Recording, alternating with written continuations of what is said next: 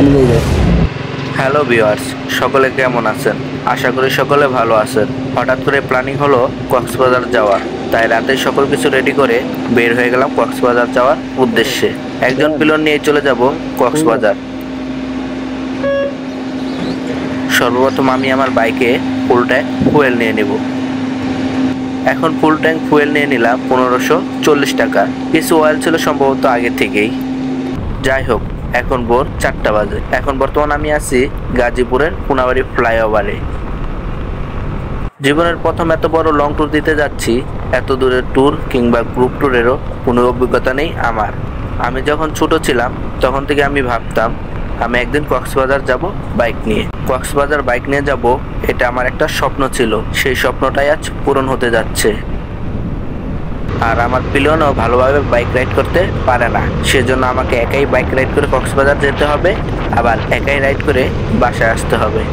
আমি রওনা দিয়েছিলাম চারটা বাজে গাজীপুরের কোনাবাড়ি থেকে। বর্তমান আছি মেঘনা ব্রিজে।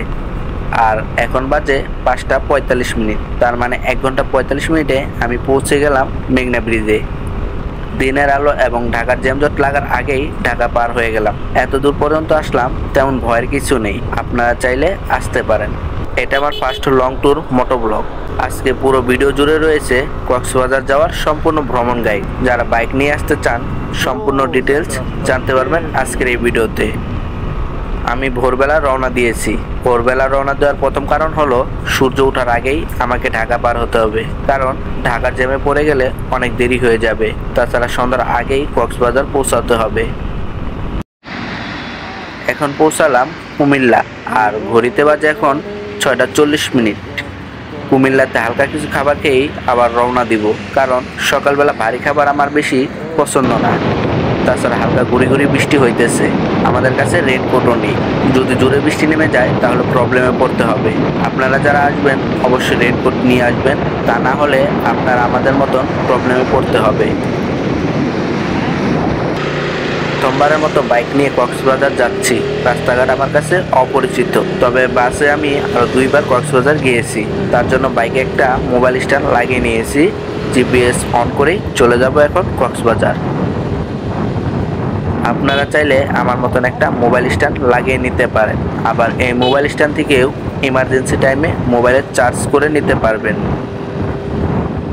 আমার খুব উপকারে আসছে এই স্ট্যান্ডটা। আমার ক্যামেরাটা অনেকবার চার্জ করে নিতে পারছি।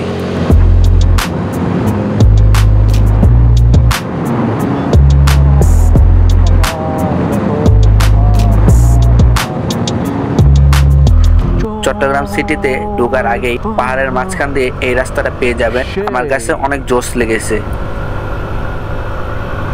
পাহাড় দেখে আমার তো মন প্রাণ ভরে গেল। তবে কক্সবাজার থেকে বান্দরবান যাওয়ার প্ল্যান রয়েছে। পাহাড়ের সৌন্দর্য যারা উপভোগ করেন নাই তারা অবশ্যই পাহাড়ের সৌন্দর্য উপভোগ করবেন। যাই হোক পাহাড়ের সৌন্দর্যর তুলনা হয় না।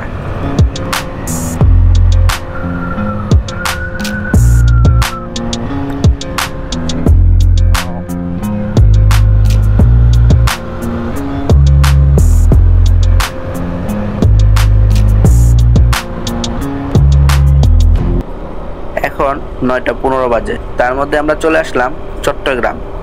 চট্টগ্রাম সিটিটাও অনেক উন্নত, অনেক ফ্লাইওভার। রাস্তাঘাট মোটামুটি ভালোই ছিল। যাই হোক, চট্টগ্রাম সিটিটা আমার কাছে অনেক ভালো লেগেছে। চট্টগ্রাম সিটিতে ঢোকার পরই আমার কাছে মনে হইল, আমি ঢাকা সিটির মধ্যেই রয়েছি। চট্টগ্রামের রোডটাও আমার কাছে অচেনা এই জন্য গুগল ম্যাপের সাহায্যে আবার ছুটে চললাম কক্সবাজার যাওয়ার উদ্দেশ্যে। চট্টগ্রাম সিটি থেকে বের হলেই আমানত শাহ সেতু চোখে পড়বে। এখানে অনেক বাইকারকেই ছবি তুলতে দেখেছি তাই আমরাও কিছু পিক তুলে নিলাম আর ব্রিজের সৌন্দর্য উপভোগ করতেছি। ব্রিজের উপর থেকে জাহাজ দেখতে এতটাই ভালো লাগতেছে যা বলার বাইরে কারণ আমাদের অঞ্চলে এরকম জাহাজ দেখা যায় না।